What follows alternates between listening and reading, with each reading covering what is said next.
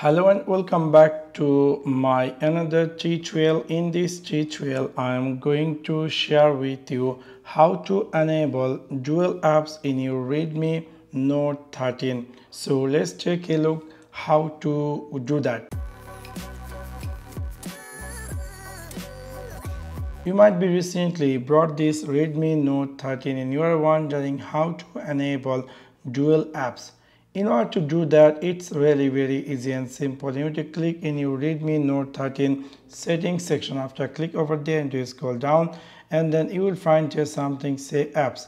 After click over apps we will find here something say dual apps. From here it's saying to every account deserve its own apps. You can create 37 dual apps. And you're going to click here create and then it's saying to uh, recommended facebook. Other all those apps you can make dual apps. For example if i would like to turn on facebook dual apps we will pop in facebook and we're going to turn on dual apps. So when you click dual apps it's saying dual apps for google service you're going to click here turn on.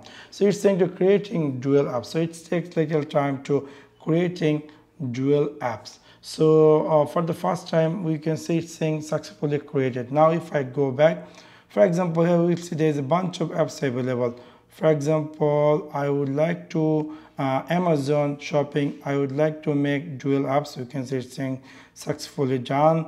And let me uh, make it here. This uh, netflix also dual apps. Now if i go back and if i go my phone all apps section. Let me see is there available dual apps or not?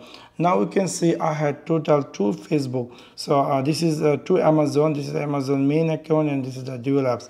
This is a netflix and netflix dual this is a facebook dual app. So this is the main facebook and this the another one is dual so within this simple way you can easily create any apps dual apps so within, this is how we can easily create dual apps in your redmi note 13 now you might be want to delete some dual apps or you want to add some more apps. So for that you're going to click again in your redmi note 13 settings section. After click over there you need to scroll down and you need to click here apps and you to click here dual apps. From here if you decide to add some more apps you can simply turn on or if you decide to turn off all app all apps uh, turn off dual you can simply turn off.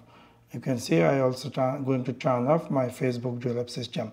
So within this simple way you can easily turn on dual app system in your Redmi Note 13 so that's for now. Thanks for watching my video. See you next one